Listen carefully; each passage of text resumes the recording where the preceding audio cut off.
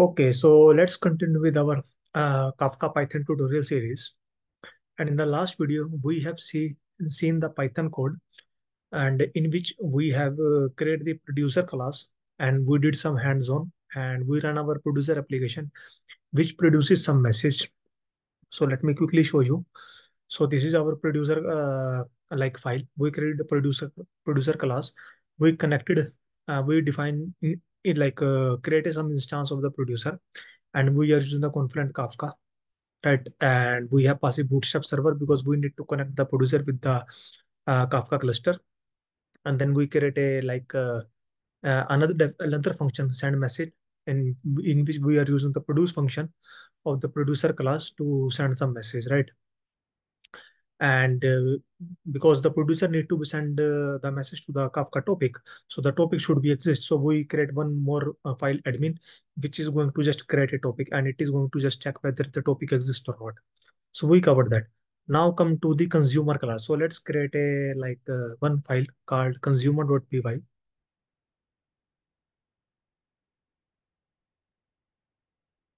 Right, so we have created a consumer.py. So let's go to the official documentation.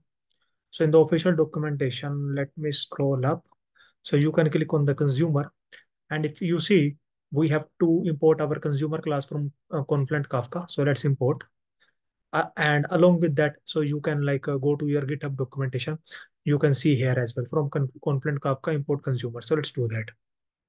From Confluent Kafka import consumer. And uh, we will define some class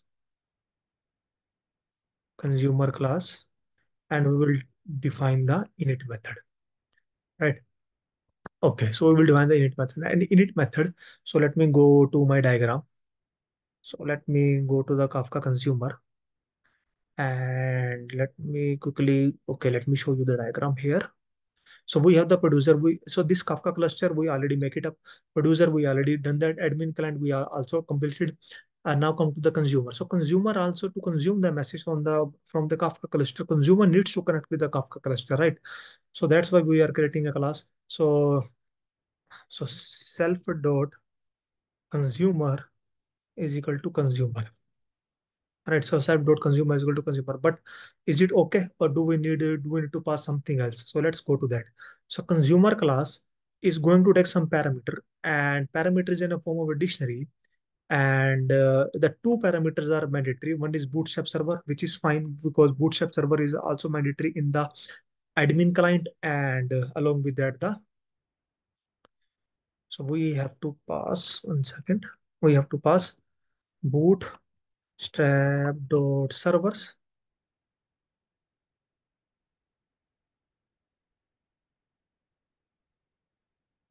so self dot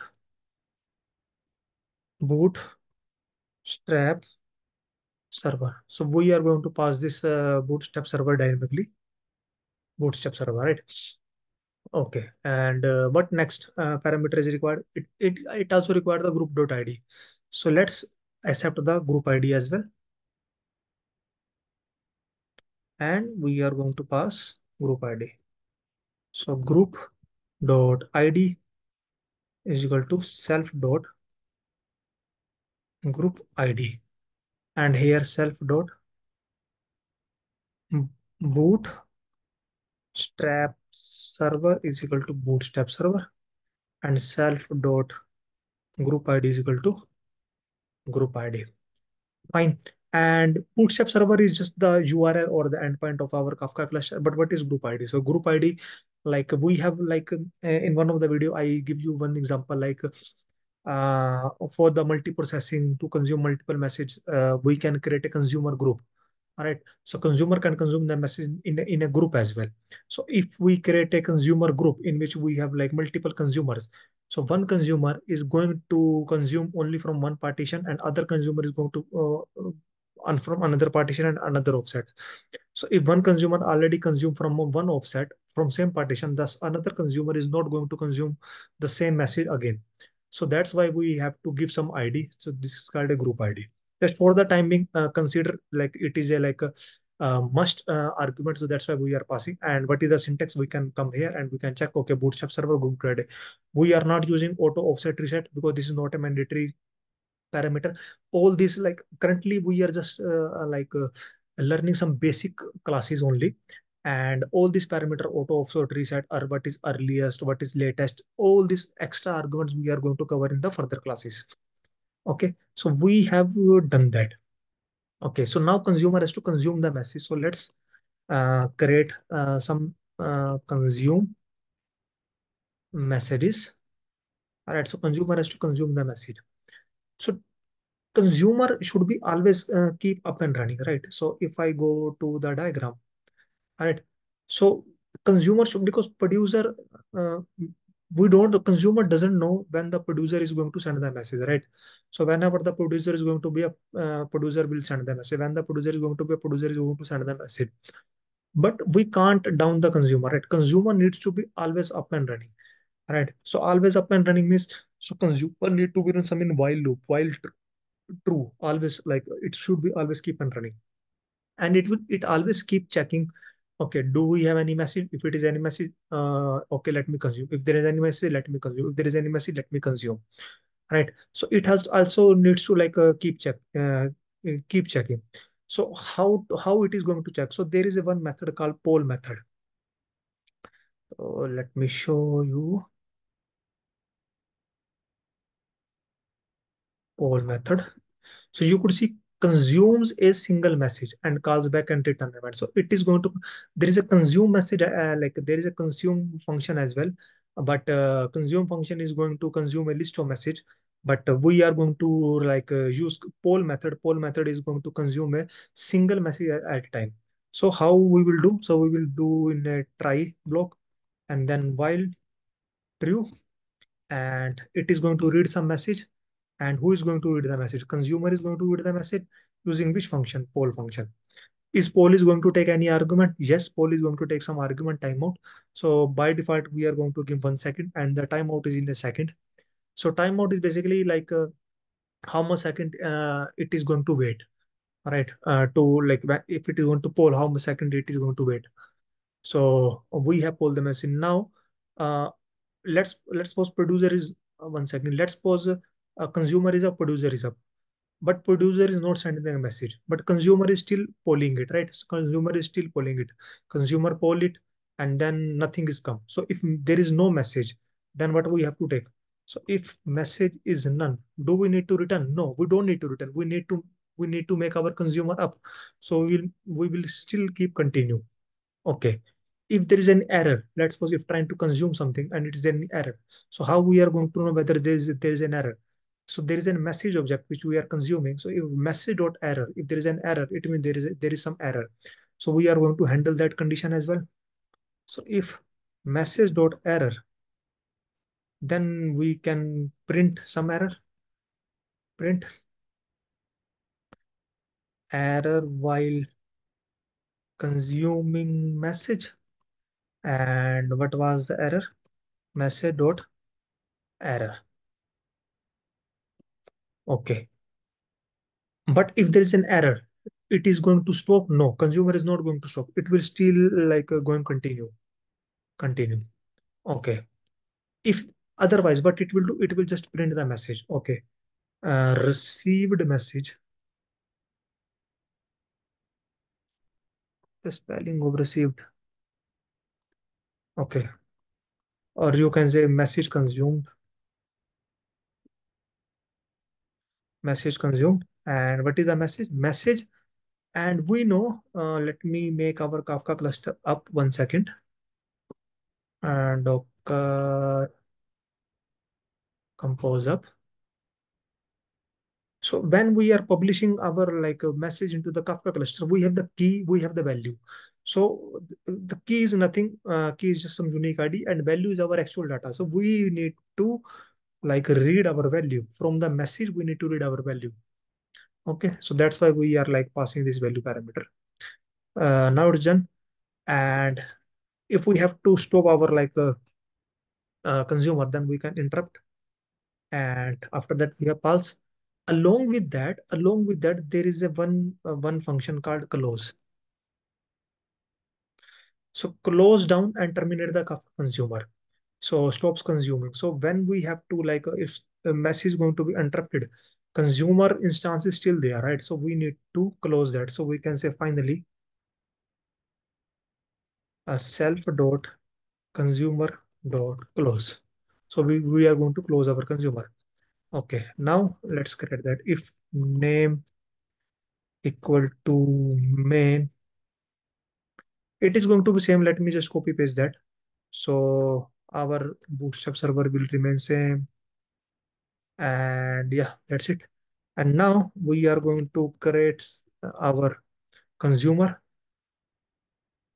consumer class and it is going to take a bootstrap server it is going to take a uh, okay we need to pass our topic as well we need to pass our topic topic uh, why we need to do that? Because how the consumer is going to know from which topic it needs to be consumed from which to topic it need to be consumed. And we have mentioned one we forget to mention one thing. Uh, so consume messages. Consume messages. So before consuming the message we need to subscribe to the topic. So if you see there is a function called subscribe. So we need to subscribe to the topic. Basically the consumer should know because there could be multiple topics right? So in from which topic it need to read the message? So self dot consumer dot subscribe. Okay. And it is going to take a topic and topic is a list of strings so we need to give a list and self dot topic. So we are going to pass the topic parameter as well. And we can take self dot topic is equal to topic and so topic will be there. We can pass the group id so it could be any any any anything my group id and we have to pass the group id okay. So we have created a like uh, object. Now we have to uh, like uh, call this function consume messages all right so now we have to like uh, call this function. So hopefully it is like uh, okay. So let's try that. So we need to start our producer and consumer side by side. So let me check. So our kafka cluster is up. So currently we don't have the topic. So let me uh, up the producer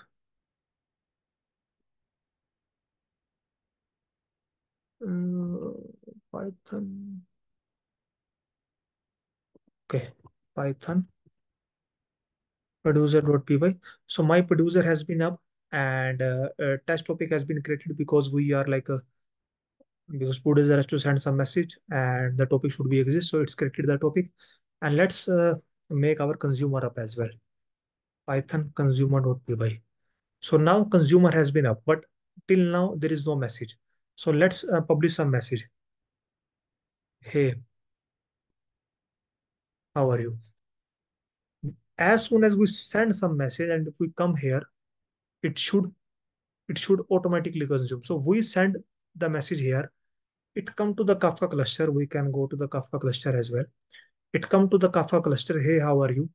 And because consumer already subscribed to this topic test topic and our consumer consume this message but if you notice consumer is uh, like consuming the message and that's why like there is one thing uh, we have the key we have the value. In, and in our code if you remember i am using message dot value because when it read the message it is going to read a lot of parameter. It's going to read offset. It is going to read headers. It is going to read partition. It is going to read timestamp. It is going to read key. It is going to read value. So many like uh, things because in the message so many data will become. But what what data is useful for us currently we we are going to read some value. So hey how are you? So so let's try to publish some message because consumer is still up right? So consumer is going to be still up. Uh, this is hey how are you? I am good. What about you?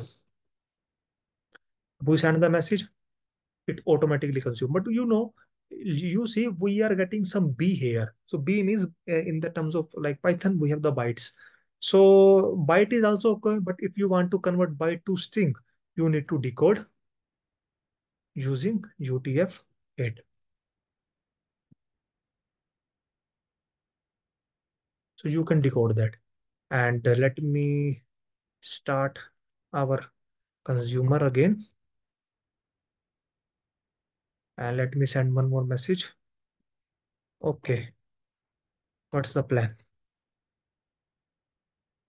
so now you could see i am not getting and like any more b prefix. B means like because it was consuming the message in the form of bytes but now i am not getting any b because i convert i decode the message from bytes to string which is a normal python syntax. If you have uh, even in the python interview question if they ask okay you have the bytes how, how you are going to convert byte to a string? So you can use the okay i am going to use the decode method. All right. So we have like uh, done that so if we just stop this and it's not going to be consume anything, right? So we can stop this as well. Right. So consumer class uh, has been completed and our code is perfectly ready. So when it consumes the message, it doesn't mean it is it, it is going to remove from the topic. No, it's it is not going to be removed from the topic because it could be any other consumer which also need all right. Along with that it depends when it's going to remove it from the like a retention period. All right so how many uh, after how many days like the message is going to be reside into this topic. So based upon number of factor it's going to be reside here. So that's it uh, that's the end of the video. So in the coming video we are going to cover let's see what we are going to cover. Yeah. So till now we are sending some text message. We are not like ideally in actual project when you are start working in an actual project you are not going to send the message in some dummy formatted right? So you are like we are sending the message in like a, if you noticed here we are sending the message in text format right? So uh, here value is text and the message size, size is 18 byte and we are not even sending the key. But in the actual actual project you have to send the key but forget about the key.